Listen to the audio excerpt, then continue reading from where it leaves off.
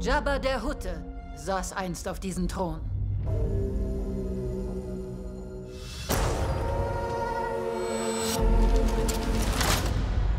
Ihr erfuhrt alle Wohlstand und Reichtum unter Jabba dem Hutten.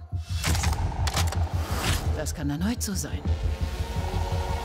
Es braucht diesen Mann hier. Boba Fett.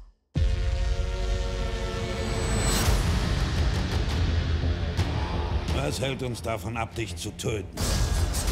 Wieso den Konflikt beschwören? Wenn Kooperation uns alle reich machen kann.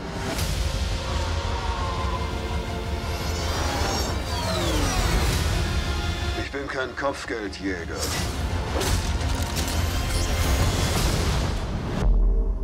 Ich bin der Verbrecherlord.